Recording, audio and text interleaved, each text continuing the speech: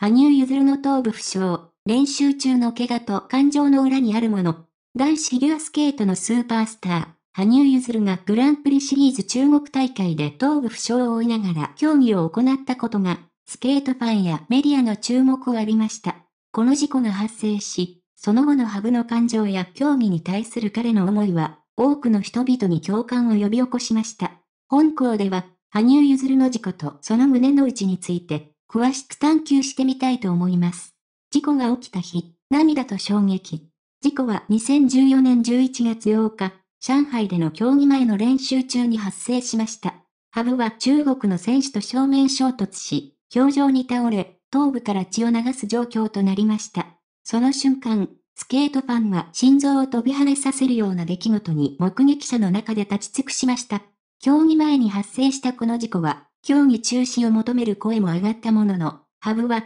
出るといい、治療を受けてなんとか競技場に姿を見せました。頭にテーピングと顎に絆創膏を貼り、痛々しい状態で競技に臨んだのです。競技の無残さと同情の拍手。競技そのものは無残で、ハブはジャンプで5度も転びました。しかし、その競技にもかかわらず、彼は2位に入り、スタンドからは大きな拍手と花束などが投げ込まれました。これは、ハブが4回転ジャンプをしっかり成功させたことによるもので、彼の競技への強い意志を称えるものでした。特に、日本のメディアは大きな注目を浴びました。ハブの競技に感動し、強い意志を示した、涙が出て止まらなかったと報じました。この競技がハブのファンや多くの日本国民にとって感情的な瞬間となりました。練習中の接触、競技のための集中力。練習中の接触は競技会では時折起こることであり、競技に支障をきたすことは通常はありません。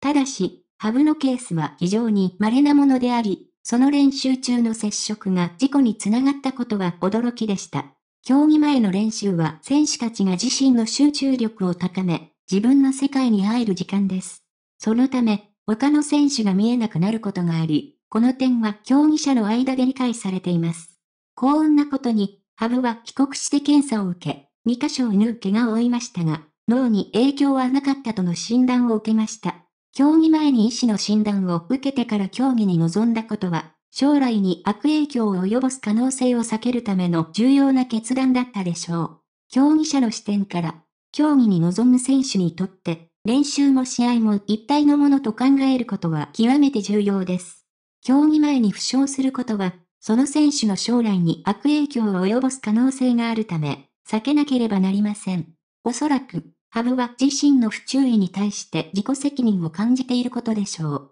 このような競技中の事故について、指摘する関係者はほとんどいなかったことは注目に値します。羽生結弦の強い意志と競技への情熱。羽生結弦の事故は競技界と日本国内で大きな話題となりました。彼の競技中の強い意志と情熱は多くの人々に感動を与え、彼のファンから絶大な支持を受けました。その練習中の怪我に対する感情や競技に対する姿勢は、彼がどれほどの選手であるかを示すものでした。この出来事から、競技者は練習中も試合中も最高の状態を維持し、負傷を避けるための注意を払うことの重要性を再認識させられました。そして、羽生結弦のような選手が、競技への情熱と強い意志を持って、挑戦し続ける姿勢は、競技界における永遠のインスピレーションとなるでしょう。